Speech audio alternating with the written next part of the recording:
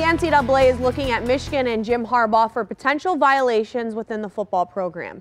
On Thursday, Michigan received what is called a draft notice of allegations, which is essentially a document from the NCAA that begins a period of negotiation and investigation.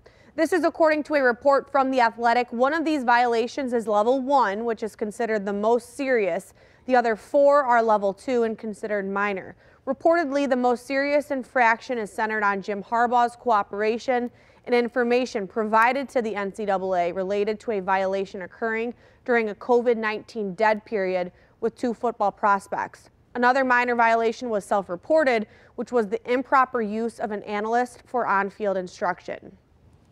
Michigan Athletic Director Warde Manuel re released a statement acknowledging that Michigan received draft allegations on Thursday adding we have cooperated and will continue to cooperate with this investigation. Out of respect to the NCAA's enforcement process, we will not offer further comments.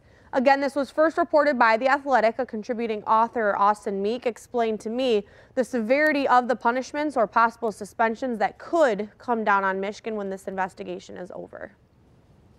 The indications are uh, from from people we've talked to, it, it's maybe not as bad as as it could have been. Obviously, anytime you have level one NCAA violations being talked about, it's it's something to take seriously. But but the sense is uh, that that it you know it, it's not the worst outcome for Michigan. It's just something that they're going to have to work through.